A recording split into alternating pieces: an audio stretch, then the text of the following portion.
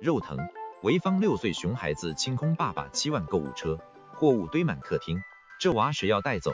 偷偷用我手机清空了购物车，收到无数个到货提醒才知道，刚从代收点回来，现在客厅都没地方站了，我就想问问都能退掉吗？这是魏先生发在自己微信中的一条朋友圈。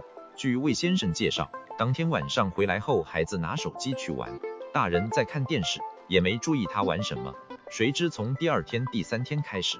手机就不停的收到到货提醒，那个时候才发现孩子把购物车都清空了。